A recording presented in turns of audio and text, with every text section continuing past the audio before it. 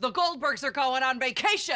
Wednesday, September 25th, the Goldbergs hit the road for a classic 80s adventure. What the hell's this nut job doing? Hey, go round! I think she's flirting with you, Murray. It's Just like in the movie.